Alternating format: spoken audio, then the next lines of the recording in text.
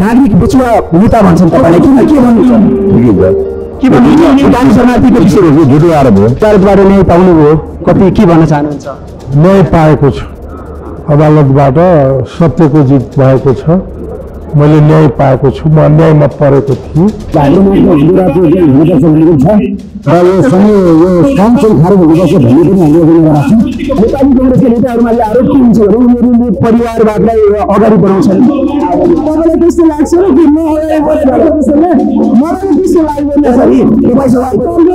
नेपाली कङ्ग्रेसमा सबभन्दा कम होला।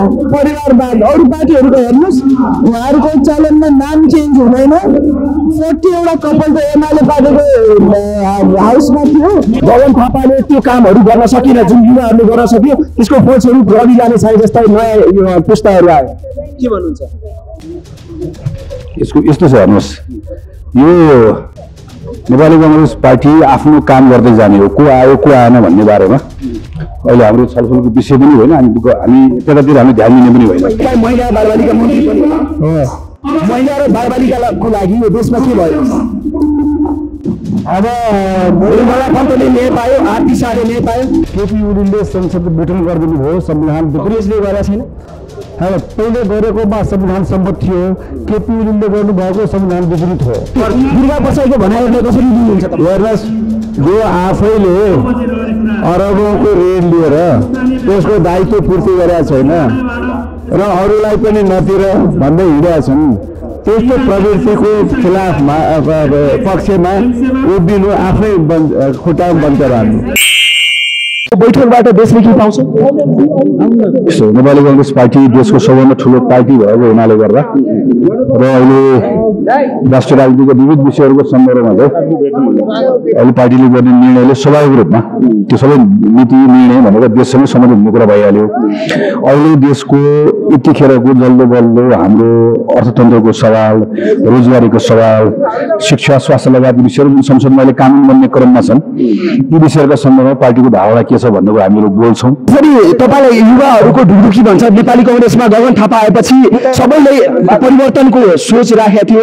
अब पुराना नेताहरू रिटायर हुन्छ तर गगन थापाले त्यो कामहरू गर्न सकिन जुन युवाहरूले गर्न सक्यो त्यसको फलस्वरूप रवि लाने जस्तै नयाँ पुस्ताहरू आयो के भन्नुहुन्छ? यसको यस्तो छ हेर्नुहोस्। यो नेपाली कङ्ग्रेस पार्टी आफ्नो काम गर्दै जाने हो। को आयो को आएन भन्ने बारेमा अहिले हाम्रो छलफलको विषय पनि होइन। हामी हामी त्यतातिर हामी ध्यान दिने पनि होइन। आइसो हामी नेपालको सबभन्दा हामी नेपालको सबभन्दा ठुलो पार्टी छौँ। केन्द्रमा छौँ प्रदेशमा छौँ तिन सय बत्तिसवटा पालिकामा छौँ। सरकारमा राख्नु सुन्नुहोस् न तिन सय बत्तिसवटा पालिकामा छौँ सबैतिर छौँ। यो बेलामा हामीले आफूले पाएको जिम्मेवारी पुरा आफूले पाएको जिम्मेवारी पुरा गर्न सक्यौँ भने कसैको बारेमा चिन्ता गर्नु पर्दैन त्यो जिम्मा लिने जिम्मा पुरा गर्ने नगर्नु त्यो हाम्रो काममा छ। आजको बैठकमा मञ्चमा बस्ने कि तल बस्ने? खै सिट कहाँ राखेको मन्त्री छ जस्तो त्यहाँ जनकपुरमा शेरबहादुर देवजी आउँदाखेरि तपाईँ तल बस्नु भएको थिएन। जयपुर कुरा पछि गएर होला आज यही सिट छ। के छ कङ्ग्रेसमा यो गुटफुटको राजनीति कहिलेसम्म चल्छ? गुटफुटको राजनीति छैन सबु छ। विचार अनुसार छ सब अनुसार छ। प्यानल हुन्छ त्यो चलिरहन्छ यो। कङ्ग्रेसमा मात्र होइन संसारमा जुनसुकै पार्टीमा जुनसुकै सङ्गठनमा राजनीतिक सङ्गठन होस् चाहे गैर राजनीतिक सङ्गठन होस् तपाईँको मिडिया हाउस होस् चाहे त्यो क्रिकेटको होस् फुटबल खेलाडी होस् दुध समूह त छ यो स्वीकार गर्नुपर्छ। व्यवस्थापन गर्ने क्षमता मान्ने निर्भर गर्दछ कति सुव्यवस्थित हुने भन्ने कुरा। जसरी बिम्ने निधि जनताको बिचमा बस्ने नेता समानुपातिकबाट किन जानु पर्यो? समानुपातिक पनि निर्वाचन प्रणाली हो त्यसमा भोटै पाएको हो त्यसमा मतदान गर्छ। प्रत्यक्ष निर्वाचन समानुपातिकको लागि ब्यालेट पेपर नै हुन्छ। बिना ब्यालेट पेपरको समानुपातिक हुँदैन। समानुपातिक त त्यस्ताका लागि हुन् जुन चाहिँ दलित भयो आरक्षणको सिट जस्तो भयो। छैन होइन त्यो त कानुनले रोकिदिइहाल्छ नि। समानुपातिकमा जो संविधान सम्मत कानुन सम्मत जो प्रणाली हो त्यो पनि निर्वाचन प्रणाली हो। आजको बैठकबाट नेपाली जनताले के पाउने?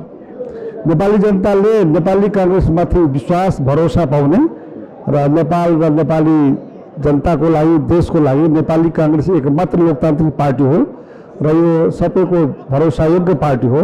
यसैले उज्जवल भविष्य निर्माण गर्न सक्छ नेपाली जनताको र देशको त्यही सन्देश जान्छ। राजनीतिक उथल पुथल भइरहेको छ? के यस्तो अवस्था आइलाग्यो कि माओवादीलाई तपाईँहरूले अगाडि सार्नु पर्यो? किन कङ्ग्रेससँग त्यो क्षमता छैन? होइन त्यो त हाम्रो राजनीतिक समीकरण अहिले मात्रै होइन। विगत संसदको बेलामा केपी ओलीले संसद विघटन गरिदिनु भयो संविधान कङ्ग्रेसले गरेका छैन? होइन, पहिले गरेकोमा संविधान सम्मत थियो केपी ओलीले गर्नुभएको संविधान विपरीत हो। अहिले संविधानमा छैन। कङ्ग्रेसले गरेको संविधान? कङ्ग्रेसले गरेको संविधान सम्मत थियो न्याय अदालतले पनि त्यसलाई स्वीकार गरेको छ। त्यो बेला प्रधानमन्त्रीलाई संसद विघटन गर्ने अधिकार थियो संविधानमा। अहिलेको संविधानमा प्रधानमन्त्रीलाई संसद विघटन गर्ने अधिकार छैन अनि त्यो बेलामा हामीले माओवादी र माधव नेपालजीहरूसँग समझदारी गरेका थियौँ त्यसको परिणाम हो आजको कार्यक्रमको बैठकको उद्देश्य के हो आज नेपाली कङ्ग्रेसको यो महासमिति बैठक यो अत्यन्त महत्त्वपूर्ण बैठक हो। यसले यो नेपाली कङ्ग्रेसले आगामी रणनीति कस्तो लिने र पार्टीलाई कस्तो किसिमको सुधार गरेर अगाडि बढाउने भनेर यो आयोजना गरिएको छ। आज तपाईँको यति कुरा भनिरहँदा तपाईँ महिला बालबालिका मन्त्री पनि हो। हो। महिला र बालबालिकाको लागि यो देशमा के भयो? अब निर्मला पन्तले न्याय पायो आरती शाहले न्याय पायो मैले बालबालिका ज्येष्ठ नागरिक मन्त्रालय भएको कारणले यसले त्यस क्षेत्रमा अब आज आकाश सोसाइटीको महिलाहरू पनि छ। महिलाहरूको हक अधिकारको निमित्त त्यो तिनी कुराहरू पनि महासमिति बैठक तपाईँ महिला बालबालिका ज्येष्ठ नागरिक मन्त्री हुनुहुन्छ देशको एउटा जिम्मेवारी पदमा हुन्छ। महिला बालबालिकाहरूले न्याय यो देशमा पहिलाको तुलनामा अहिले धेरै निर्मला पन्तको हत्यारा पत्ता लाग्यो। त्यो पनि प्रक्रियामा छ। त्यसले त्यो छैन अब सम्बन्धित गृह मन्त्रालयले हेर्ने कुरा हो यो मन्त्रालयले हेर्ने कुरा हो तथापि हामी आवाज उठाइरहेका छौँ। पायो अ, त्यो आवाज उठिरहेको छ र हामी तपाईँ आवाज उठाउने ठाउँमा होइन नि। आवाज उठाउने काम त पत्रकारको हो। तपाईँहरूले विभिन्न मन्त्रालय अन्तर मन्त्रालयका कुराहरू छन्। मैले मैले मन्त्रालय सम्हालेको कारणले मैले गृहलाई पनि गृह मन्त्रालयलाई पनि मैले भनिरहेको छु न्याय पाउनुपर्छ गृह मन्त्रालयलाई तपाईँले भन्नुभएको छ। भनेको छु गृहमन्त्रीजीको गृहमन्त्रीले त्यसमा हामी प्रयासरत छौँ। हामी अब त्यसलाई न्याय दिन्छौँ भन्ने कुराहरू भएको छ। दिनको बैठक छ यो तिन दिनको बैठकमा नेपाली जनताले के परिवर्तन पाउँछ के? नेपाली काङ्ग्रेस एउटा युगानकारी पार्टी भएकोले हामीहरूले निर्णयहरू पनि युगानकारी नेपाली जनता जुन नेपाली कङ्ग्रेसबाट जुन आशा अपेक्षा गरेको थियो त्यो अहिले कम भएको छ। पछिल्लो समय हेऱ्यो भने नेपाली कङ्ग्रेसको गतिविधिबाट जनता निराश भएको छ। जनताले नेपाली कङ्ग्रेसलाई मात्रै आशा र भरोसाको पार्टी नेपाली कङ्ग्रेसमा त गुट फुटको छ नि त। आफै तपाईँहरू फुट्नुहुन्छ हालिने होइन। लोकतान्त्रिक पार्टीमा विचारको खरेडी हुँदैन। विचार आफ्नो आफ्नो हुन्छन् तर हामी यहाँबाट जे कुरा लक्ष्यौँ पास गर्छौँ। त्यसलाई अमल गरेर अगाडि बढ्छौँ। अनि सानसानो कुरामा पनि नेपाली कङ्ग्रेसमा एकता देखिँदैन आफैमा मतभेद देखिन्छ। जसको कारण आज माओवादी सरकारमा छ। अहिले त्यो आफ्नो ठाउँमा हो तर त्यस्तो पनि होइन। तपाईँले प्रचण्ड नै प्रचण्ड नै प्रधानमन्त्री बन्नुहुन्छ अझै पनि।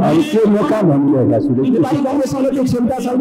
के भन्नु हो नेपाली कङ्ग्रेससँग आफू सरकार बनाउने क्षमता किन छैन?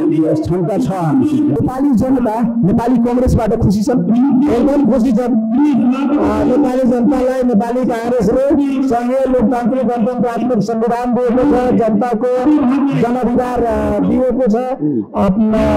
यतिको बिहा भने तपाईँमाथि खुकुरी प्रहार किन हुन्छ अब हेर्नुहोस् छयालिस सालमा हामी हामी प्रजातन्त्रवादी छौँ प्रजातन्त्र हामीले ल्याइसकेपछि हाम्रो जुट भइसकेपछि अप्रजातान्त्रिक शक्तिहरूको हार पनि भयो नि। युवाहरू निराश छन् नेपाली जनता निराश छन् जसको फलस्वरूप आक्रमण होइन युवाहरू निराश छैन। युवाहरू अहिले रोजगारी समस्या राष्ट्रव्यापी छ अन्तर्राष्ट्रिय छ र रोजगार युवाहरूलाई रोजगार दिने र तपाईँ तपाईँ अगाडि मन्त्री पनि भएको छ। होइन? विद्यार्थी कालदेखि तपाईँ पोलिटिक्समा हुनुहुन्छ। तपाईँले के परिवर्तन ल्याइदिनु भयो अहिले नेपालमा समग्र के परिवर्तन नेपालको कुरो छोड्छु तपाईँले के परिवर्तन ल्याउनु हामीले ल्याएको अहिले घर घरमा खानेपानीहरू भइरहेको छ। अनि तपाईँको हाम्रो देशभरिमा अहिले सडकको विकास भएको छ शिक्षाको विकास भएको छ रोजगारको विकास भएको अस्पतालको विकास भएको छ। अनि त्यसपछि तपाईँको सञ्चारको विकास भएको र रोजगारको अवसर भएको- विकास भएको छ। उहाँले महेन्द्र यादवजीले भन्नुहुन्छ खाने पानीदेखि सडक शिक्षा स्वास्थ्य सबैको विकास भएको छ। जनताले पत्याउँछ यो कुरा। पत्याइरहेको छ जनताले त। नेपाली नेपाली काङ्ग्रेस नेपालको लोकतान्त्रिक पार्टी हो। लोकतन्त्रलाई स्थापना गर्नमा नेपाली काङ्ग्रेसले धेरै ठुला सङ्घर्षहरू सम्पन्न गरेको छ। अब लोकतन्त्रको स्थायित्व भएको छ। अब नेपाली जनतालाई विकासको अनुभूति दिनु नै अहिले हाम्रो मूल दायित्व हो।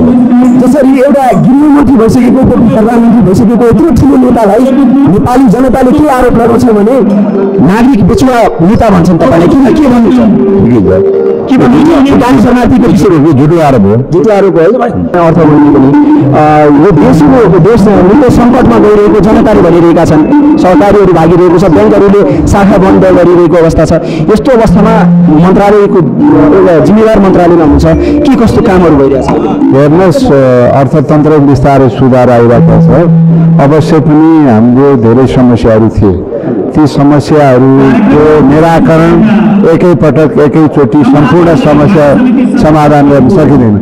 तर राम्रो कुरा के हो भने अहिले आर्थिक वृद्धि बढ्न थालेको छ मूल्य वृद्धि कम हुन थालेको छ लेन्डिङ रेट बढिया छ मार्केट बढिया छ सुन्नुहोस् न व्यापारको अहिले प्रकृति चेन्ज हो। अहिले अनलाइनबाट धेरै व्यापार हुन्छ। त्यसो सटर बन्द भयो हाम्रो जहाँ पनि सटर खोलिहाल्ने सडक देखेको सटर निकाल्ने प्रचलन छ।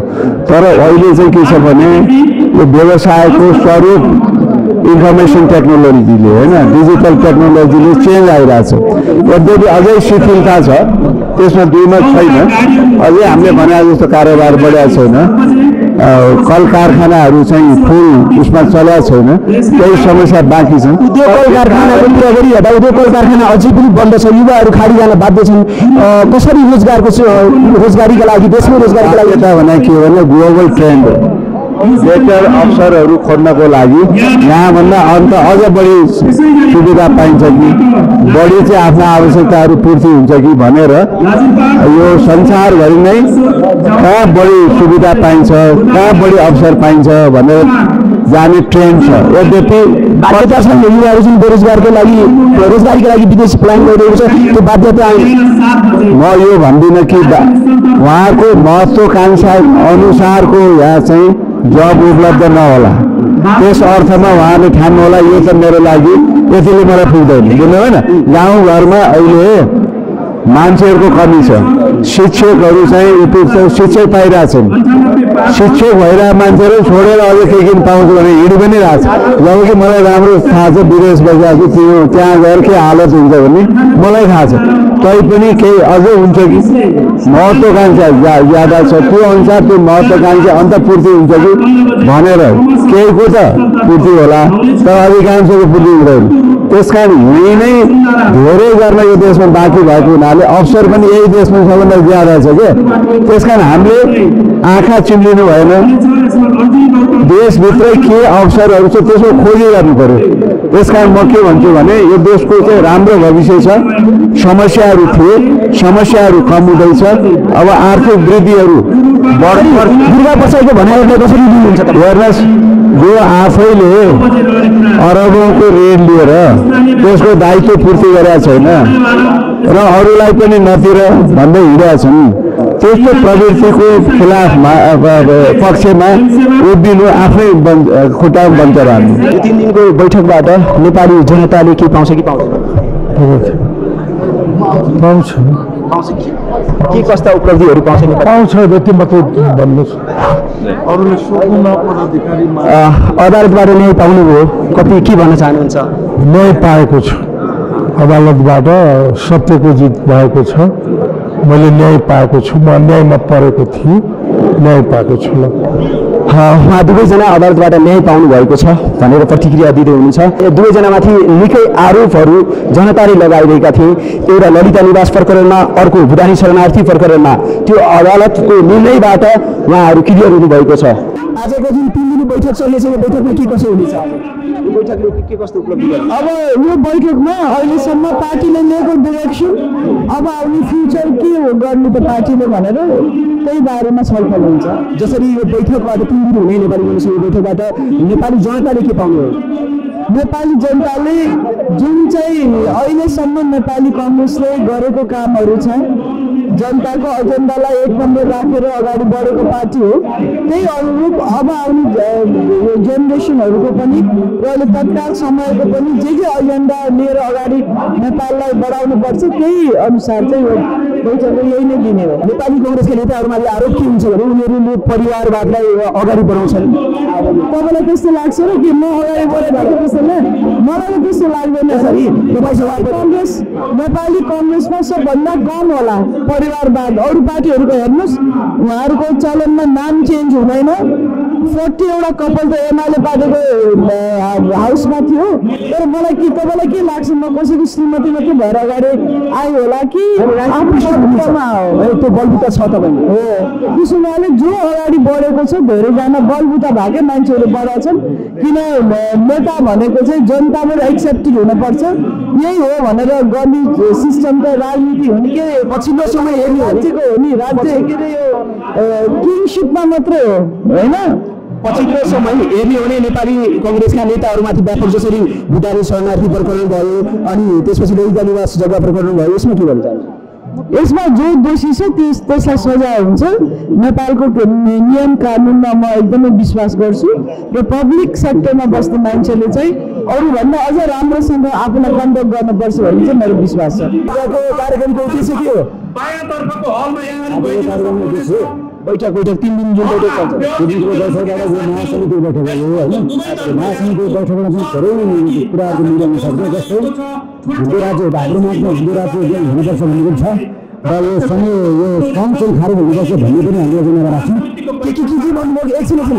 उहाँ के के नाम भयो? नाम भन्नुहोस् त। भयो नगराज नायक महासमिति सदस्य ललितपुर क्षेत्र नम्बर तिन अनि तपाईँ नेपाली कङ्ग्रेस सुतेर गएर अनि के यो अ, संहिता खारिज गर्नुपर्छ। संहिता हाम्रो चाहिँ महासमिति सदस्यहरूको चाहिँ धेरैको भनाइ के छ भने केन्द्र मिलेरको महासमिति पास गरेको एउटा छ तर हाम्रो जुन चाहिँ भने त्यति हो मलाई यति भन्नुहोस् न। संहिता खारिज हुनुपर्छ संहिता खारिज हुनुपर्छ हिन्दू राष्ट्रिय चाहिन्छ हिन्दू राष्ट्र चाहिन्छ र यो धर्मनिरपेक्ष हुँदा के समस्या आइलाग्यो? अनि यो जो अस्सी पर्सेन्ट धर्मनिरपेक्ष भइ भइसकेपछि त सबै जात जातिको समान भयो। यो हिन्दूहरूमा हुँदाखेरि पनि यो हिन्दू राष्ट्र हुँदाखेरि सबै जात सबै धर्मको चाहिँ समान हुन्छ। तर राष्ट्र हिन्दू हुनुपर्छ भन्ने हाम्रो मान्छे बैठकमा सहभागी भएका नेपाली कङ्ग्रेसका नेता म उहाँलाई चिन्दिनँ सहभागीहरूसँग म अन्तर्क्रिया लिइरहेको छु। तर उहाँले भन्नुहुन्छ हिन्दू राष्ट्र चाहिन्छ संहिता खारिज गर्नुपर्छ। अब के भन्नुहुन्छ शेर बहादुर देवता सभापतिज्यू के छ? उहाँले भन्दै हुनुहुन्छ संहिता खारिज गर्नुपर्छ। पनि नेपालको अवस्था संहिता त्यति व्यावहारिक देखिएन खारिज गर्नुपर्छ। उहाँले भन्नुभएको छ हिन्दू राष्ट्र चाहिन्छ। हिन्दू राष्ट्र पनि चाहिन्छ। चाहिन्छ? चाहिन्छ। ओ माई गड म चकित छु। आज उहाँहरूको जवाब सुनेर म म त म फेन्ड हुन्छु जस्तो लाग्छ।